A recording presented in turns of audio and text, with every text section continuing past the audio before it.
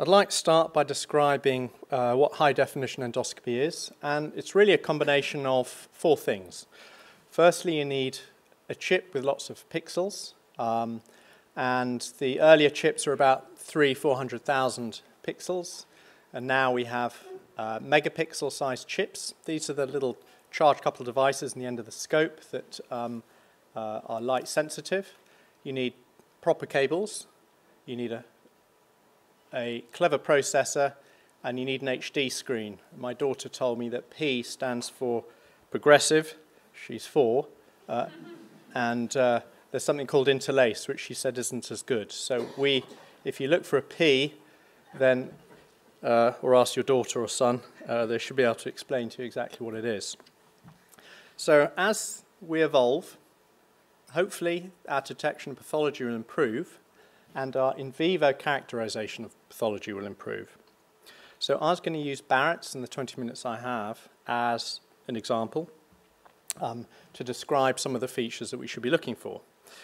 So there are a couple of questions. The first is whether we can identify specialized intestinal metaplasia at present with current technology, how accurately we can pr predict dysplasia, um, and uh, whether we can detect dysplasia in the first place.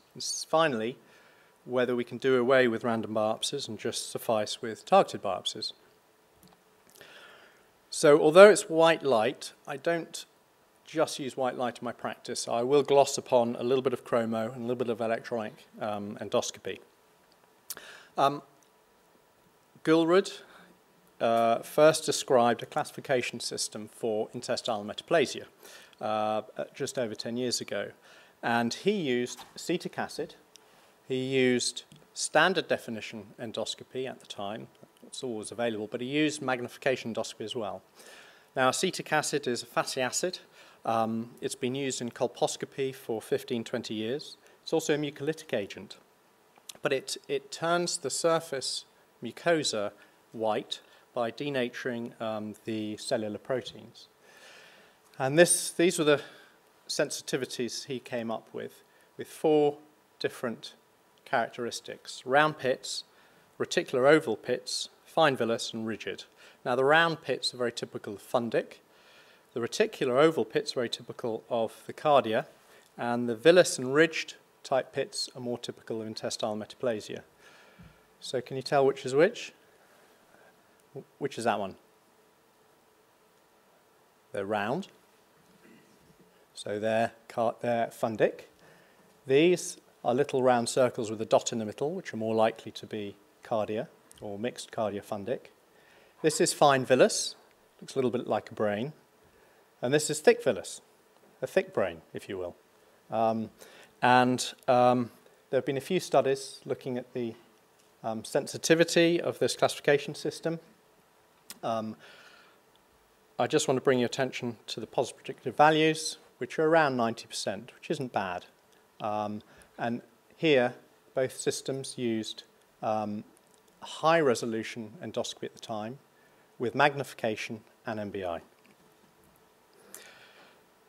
So the answer is we're getting better at predicting intestinal metaplasia, providing we have the right tools, NBI, magnification, endoscopy. Um, but can we predict high-grade dysplasia? Um, and there have been various um, attempts at classifying what we look for. And they all pretty much come to the same conclusion. There's small variations, but the things to look for are irregularity in the pit pattern, enhanced or irregular blood vessels, um, and distortion. So really two things, distorted pit pattern and abnormal distorted vessels. And if you just have a look at the sensitivities of these studies. Now, they all used optical magnification and they all used NBI. They were all centers uh, where the um, referral rate was, the referrals were for high grade intraepithelial neoplasia. So there'll be a lot of selection bias with these studies. But essentially, the sensitivities were about between 95 and 100%. So if the conditions are right, you've got a group of patients who have high-grade epithelial neoplasia, or a lot of them. You have experts, and you have uh, magnification endoscopy. These are the kind of results you'll come out with if you are looking for high-grade neoplasia. All these studies use still images rather than videos. If you use videos, the results are less good. Your sensitivities go down to between 75 and 80%. Again, these are using magnification endoscopy and NBI. So what happens if you have a look at all the studies? Sensitivity is superb. But again, uh, there's selection bias because half of your patients have got high grade or more, and you've got operator bias because they're all experts. So where does this leave us? So in the right conditions, we may be able to detect it, uh, but that doesn't include many of, it, many of us.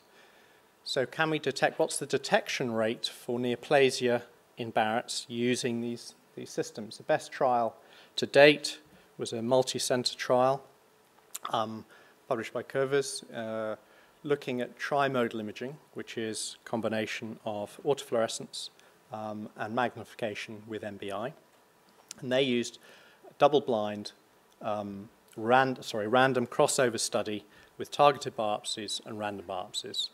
Um, the beauty of this study um, is that each patient will act as their own control, so you reduce bias to some degree, but there is still bias because you've still got a medium risk population, so half of the patient, or a large proportion of the patients still had high grade, so all had to have confirmed low grade.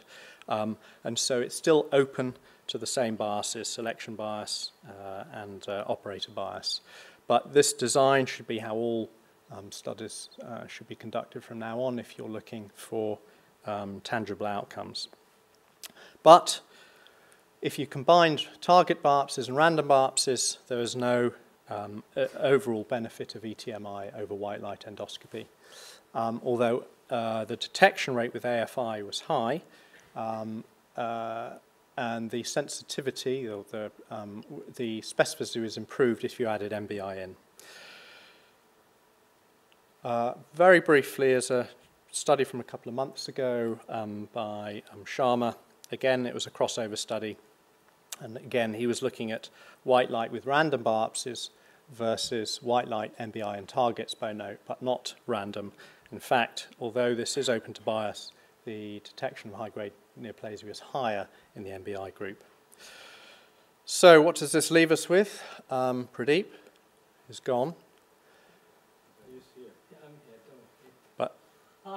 Who came up with that name? I mean, it could have been Adbas or Basad, but badass. Uh, come on.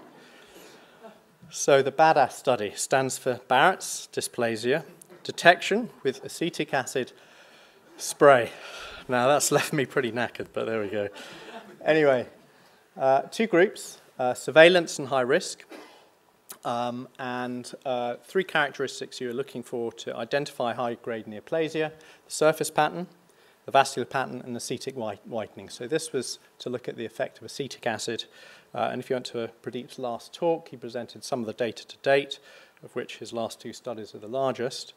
Um, but um, uh, single endoscopist, uh, superb study, superb outcomes, good study, single endoscopist. Um, uh, but results were very good. Um, so the definition of, uh, or, or, the characteristics of high-grade neoplasia were irregular pit pattern, loss of pit pattern, um, enhanced uh, or irregular vascular pattern, and focal early disappearance of aceto whitening. I'll show you that in a little while. But these are results. I'd like you to look at the neoplasia, additional neoplasia yield uh, with acetic acid. So you can see 43 in the white light group alone, to 102, which is a 2.6 fold improvement, which is stunning.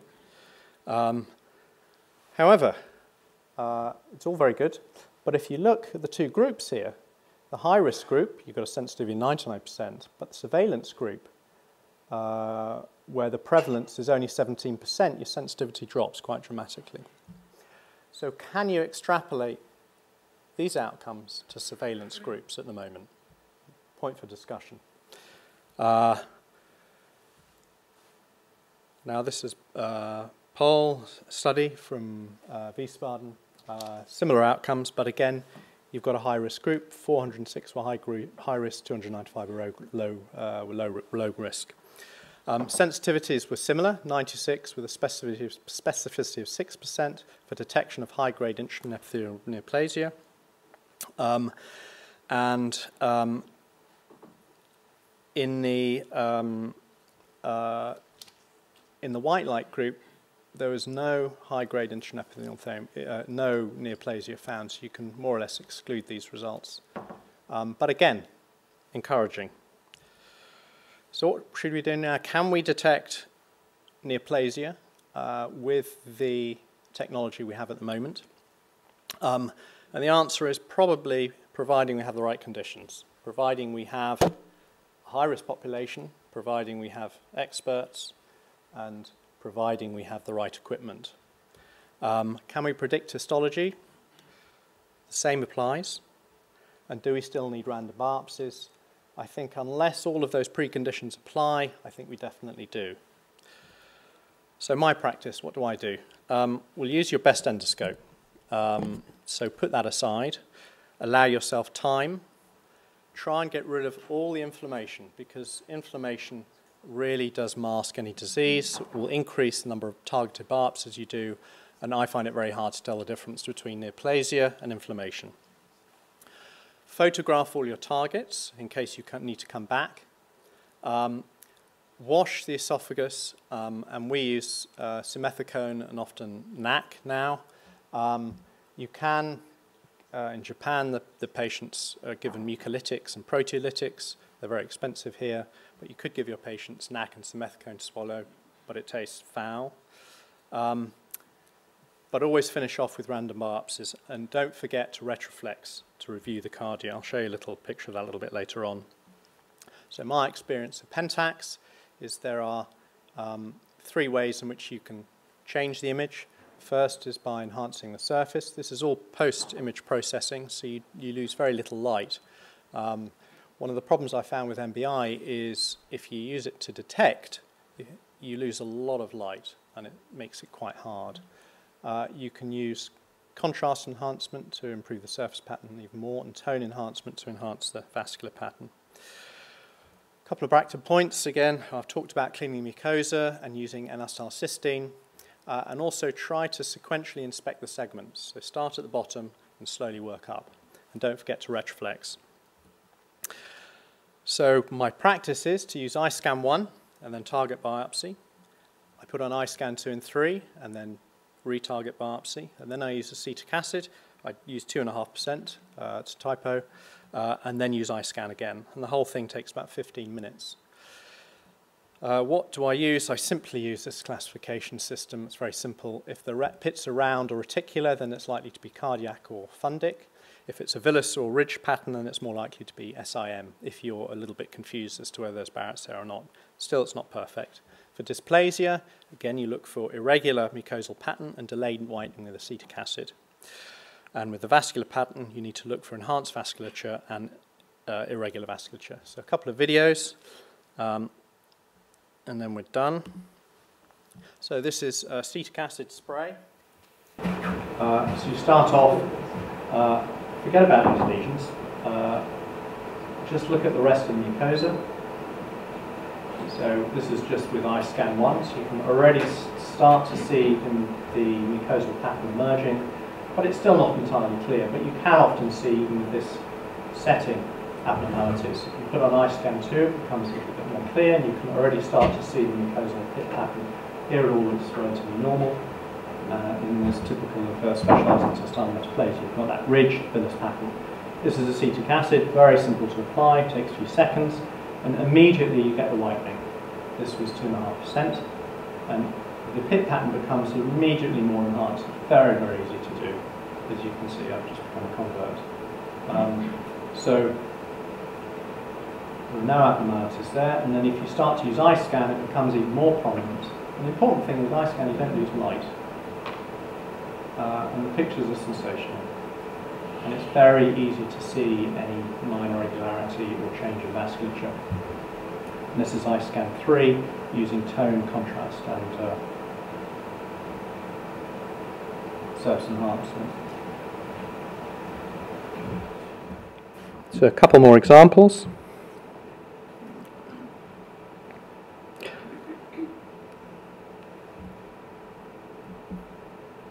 Again, this is not using acetic acid. Can anyone see the lesion?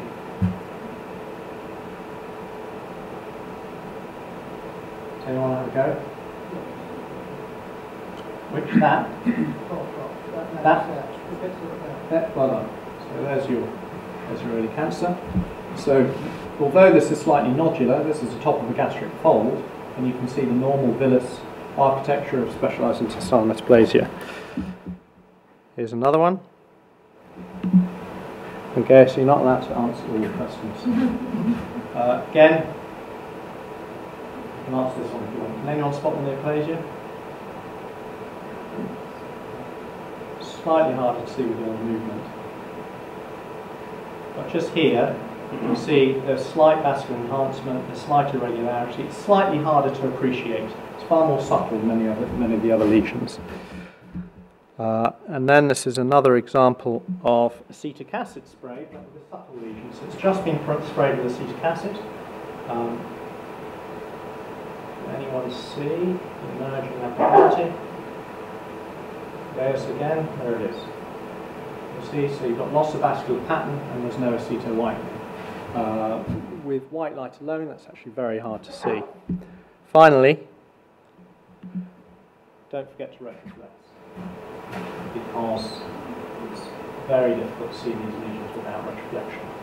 Uh, so this is slightly raised and it's got the adherent mucus, which is always a telltale sign, but it's slightly redder, it's distorted, the vascular pattern slightly more enhanced. Oh, oh, there's another one. Let's have a look. Ah, no. Um, so here, got standard white light. And you can start to see there's a little bit of nodularity here, not particularly clear. You use a little bit of iScan. And it becomes far more important. You can see the vascular enhancement, the irregularity here, but look there, there's another lesion. It becomes far more prominent. And this is just, this is a post-ablation patient, this is just at the esophagogastric junction after ablation. So here we had to reablate the margin. Can anyone see this lesion? It's not difficult. And this one? Can anyone, can anyone shout out when you can see? Yes? You can answer all of them, aren't you? 11 o'clock, there you go. Also, another lesion? Oh my god, yeah. Do you not what? not, like, yeah, so you can get lots and lots of lesions. Uh, and so this guy uh, had dif- fairly multifocal diffuse um, uh, neoplasia. I'm going to finish now. I'm not going to talk about colons because I think, um, uh, Ralph, you're going to mention colonoscopy. So I'll just flip to my summary. Um, so the optical techniques for defining mucosal abnormalities are improving every year. Um, as you can see from those video samples, um, uh, with technology that's available today, uh, it's very easy to see pit, to see the pit pattern. It's not actually that hard um, to try and describe it and at least have a stab. But the key is to look for the targeted areas because you know you'll improve your yield. And that should be the take-home message. Do as many targets as you need to, and then follow that with random biopsies. Um, unfortunately, I don't think we can do away with random biopsies yet, simply because, as I've described before, the conditions aren't right. At the moment, all the data simply suggests that it's fine if you're in a high, if you're in a tertiary referral centre with modern equipment and you're used to seeing lots of neoplasia, so your pattern recognition uh, for spotting it um, is finely tuned. Um, in my view, acetic acid certainly enhances performance, um, and uh, Pradeep, thanks for introducing me to that. Um, and I'll leave that for Ralph, uh, who will talk about colorectal disease.